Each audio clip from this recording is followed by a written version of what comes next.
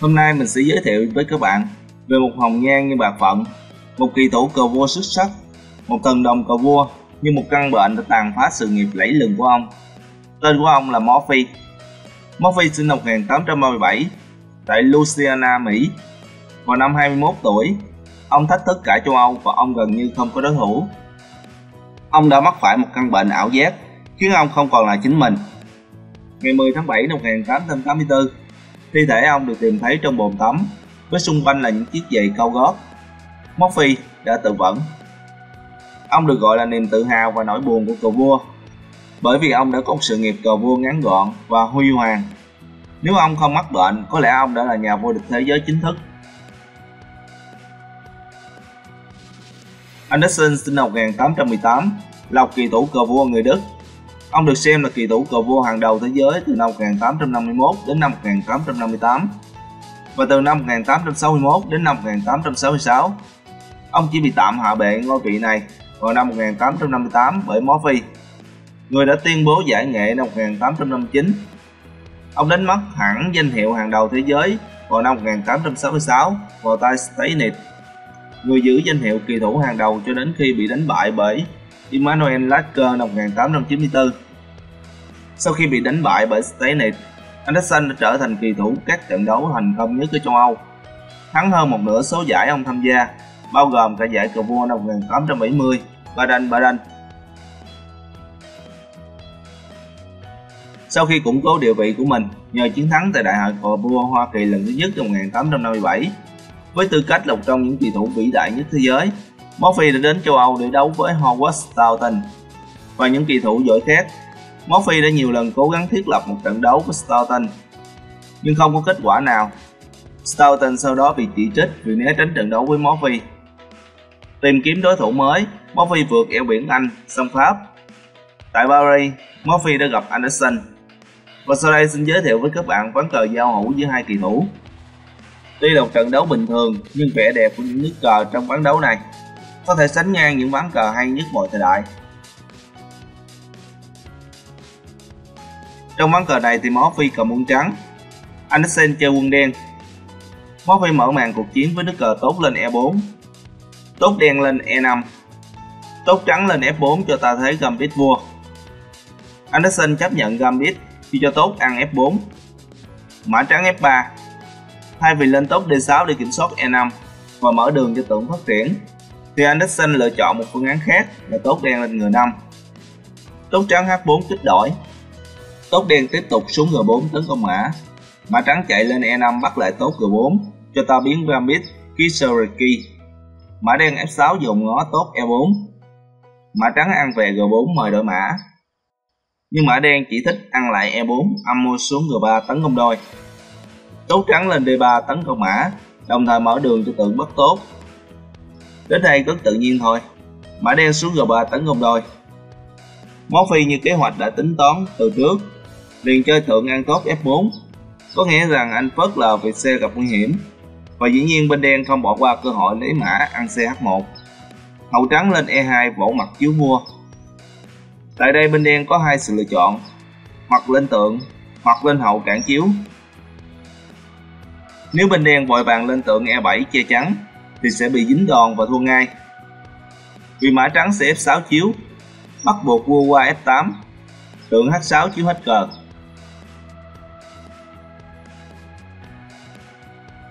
Do đó Anderson liếc qua là biết, xem phát hiểu ngay. Anderson đã cho hậu lên E7 che chắn. Mã trắng cũng F6 chiếu, chẳng lo nguy hiểm vì hậu đen đang bị ghim vua tháo chạy qua D8 là phương án duy nhất. Món phi với nhãn quan chiến thuật thiên tài đã ngay lập tức lấy tượng ăn C7 chiếu vua, hy sinh tượng. Không hề còn lựa chọn, vua bị thu hút ăn lên C7.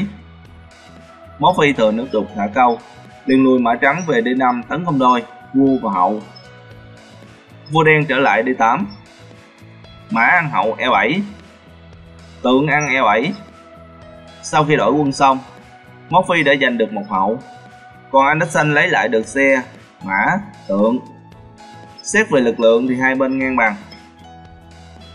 Tiếp tục ván cờ thì hậu trắng lên G4, nước cờ có hai dụng ý. Vừa ngăn mã tháo chạy lên G3, đồng thời bảo vệ tốt H4 trước sự dòm ngó từ tượng đen. Để đối phó thì tốt đen lên D6, mở đường cho tượng tấn công hậu. Hậu trắng đơn giản chạy qua F4, đảm bảo các ô F2, G3, H4 vẫn trong tầm kiểm soát, đồng thời tiện đường bắt luôn tốt F7. Đến đây bên đen chơi nước cờ cực mạnh, đó là xe qua G8 khống chế cột nửa mở G. Yểm trợ mã quay về G3, rồi F5. Murphy không phát triển mã lên C3 tìm cách nhầm thành, mà manh động lấy hậu trắng ăn F7 tấn công xe. Chấp nhận đi tượng đen ăn H4 chiếu vua. Vua dân lên D2. Xe đen qua E8 khống chế cột mở E. Đánh giá thế trận thì trắng có hậu rất năng động, nhưng thế công của trắng rất yếu ớt. Bởi vì quân binh tiếp viện không đủ, trong khi đó thì cờ đen quân đội linh hoạt hơn. Tượng đen có thể lên G5, tượng còn lại lên G4 kiểm soát hai đường chéo kết hợp với mã trở lại F2 hay G3 và xe trên cục E. Do đó nhiệm vụ cấp bách bây giờ là phải phát triển mã, nhanh chóng đưa xe và mã tham gia trận chiến. Nhưng câu hỏi đặt ra là mã trắng nên phát triển lên C3 hay A3 đây các bạn? Thử nghĩ bây giờ nếu mã trắng lên C3 mở đường cho xe E1 Bên đen lợi dụng lùi tượng lại G5 chiếu vua. Vua không thể qua cục E vì bị xe phong tỏa. Vua bây giờ muốn lên C3 cũng không thể vì mã của mình đã chiếm. Bắt buộc vua trở lại D1 Lúc này thì xe bị khóa. Bên đen có thể ung dung lùi mã về G3 hoặc phát triển mã lên C6 Cục diện vô cùng bất lợi cho trắng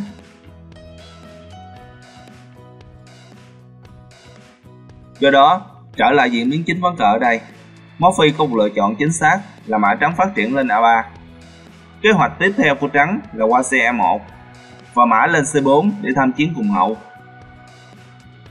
Nước cờ hợp lý cho đen vào lúc này phải là tượng lùi lại G5 chiếu vua. Dĩ nhiên vua không thể lùi lại D1 vì tượng G4 chiếu. Tượng lên E2 cản chiếu, cắn mất tượng và mất hậu sau đó. Bởi vậy vua lên C3 Tiếp theo đen có nhiều phương án chơi tiếp như lên tượng D7 để ngăn mã lên B5 hay phát triển mã đen lên C6 cục diện vẫn khá cân bằng.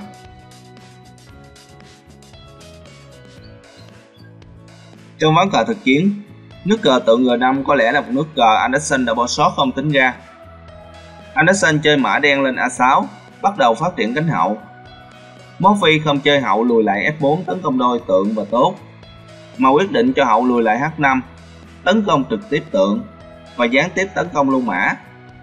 Thật không may cho Anderson khi không có cách nào bảo vệ cả hai. Tượng đen đành phải lùi lại F6 vớt vát tốt B2. Hậu trắng ăn H1. Tượng đen ăn tốt B2 tấn công đôi. Đứng trước uy hiếp từ tượng của đối phương, khả năng là bên trắng sẽ phải trả là một quân cờ cho bên đen. Nhưng Morphy bất ngờ tung đột chiêu để giải bài toán khó đó Murphy chơi hậu trắng H4 chiếu. Ta cùng nhau phân tích vài sự lựa chọn của bên đen để thấy được sự lợi hại của nước cờ này. Lựa chọn thứ nhất cho bên đen là lên xe E7 cản chiếu.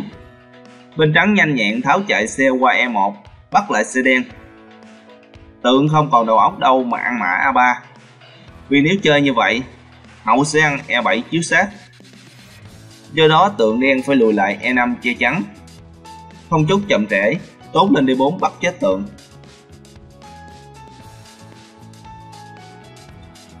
Do đó lựa chọn lên xe A7 không thể nào xem xét. Bây giờ chúng ta tiếp tục phương án thứ hai là vua lên C7.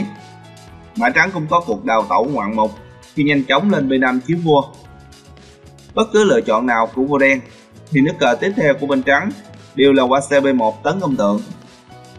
Trong tương lai tiếp diễn, thì cờ trắng sẽ là người làm chủ cuộc chơi.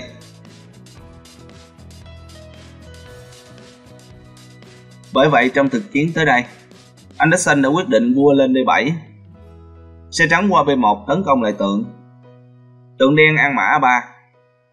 Hậu trắng A4 chiếu vua và bắt luôn tượng.